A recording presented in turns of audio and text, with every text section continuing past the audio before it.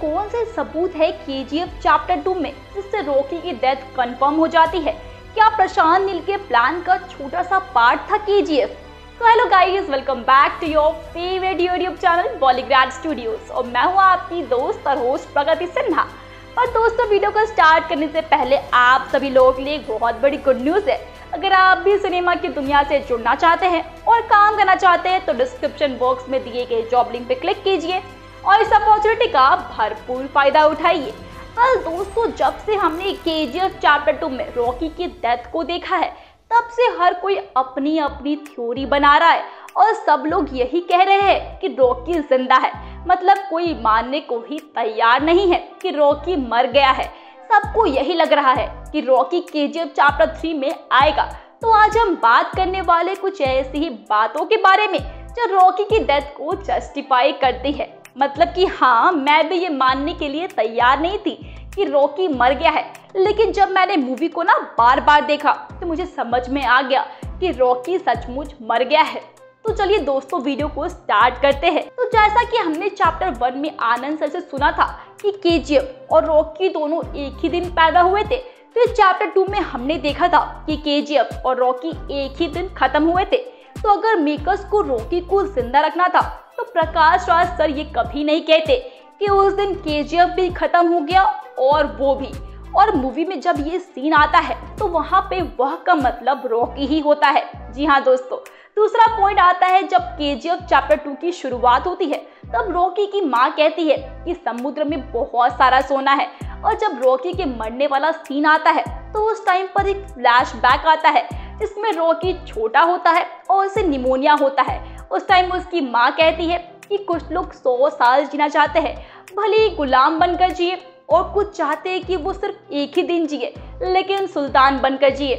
अब इस लाइन में ये क्लियर तो नहीं है कि रॉकी मर गया है या फिर ज़िंदा है, लेकिन इसका मतलब ऑटोमेटिकली यही बनता है कि रॉकी सुल्तान बन गया है और अब वो मर भी गया है तो कोई दिक्कत नहीं है।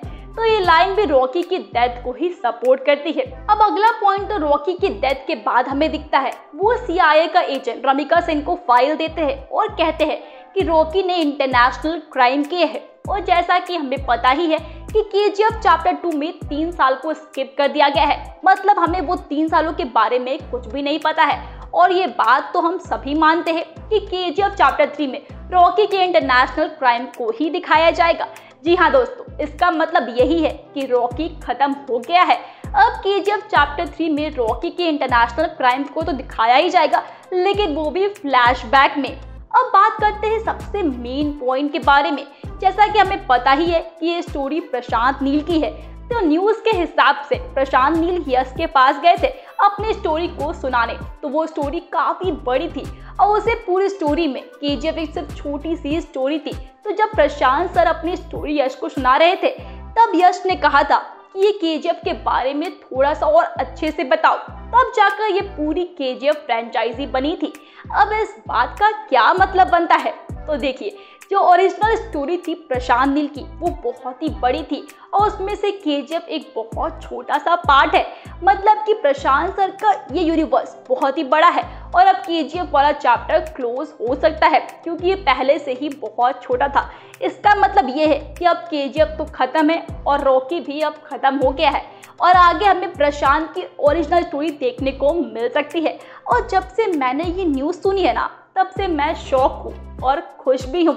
क्योंकि जिस के ने बॉक्स ऑफ़िस की रिकॉर्ड तोड़ दी है, वो सिर्फ़ एक छोटा सा पार्ट था ओरिजिनल स्टोरी का। तो फिर सोच लो कि मेन स्टोरी क्या आग लगाएगी। तो ये थे कुछ पॉइंट जो रॉकी की डेथ को जस्टिफाई कर रहे हैं। वैसे तो मैं खुद भी नहीं चाहती कि रॉकी सचमुच मर गया हो। लेकिन अगर आपके पास ऐसे कुछ फैक्ट्स है, कुछ पॉइंट्स है जो रॉकी की डेथ को फेक प्रूव करते हैं तो हमारे साथ नीचे दिए गए कमेंट बॉक्स में ज़रूर शेयर करें। और साथ ही वीडियो अच्छी लगी हो तो वीडियो को लाइक करें शेयर करें अपने दोस्तों के साथ। और हाँ चैनल को सब्सक्राइब करना बिल्कुल भी मत भूलिएगा।